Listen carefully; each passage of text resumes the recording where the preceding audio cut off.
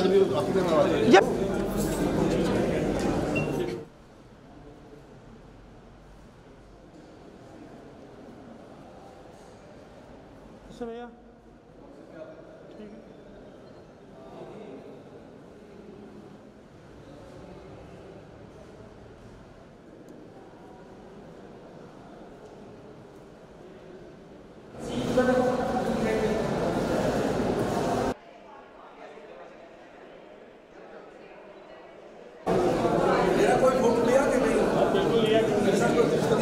साहब की याद में किया गया है, उसके लिए मुबारकबादी इनको देना चाहता हूँ।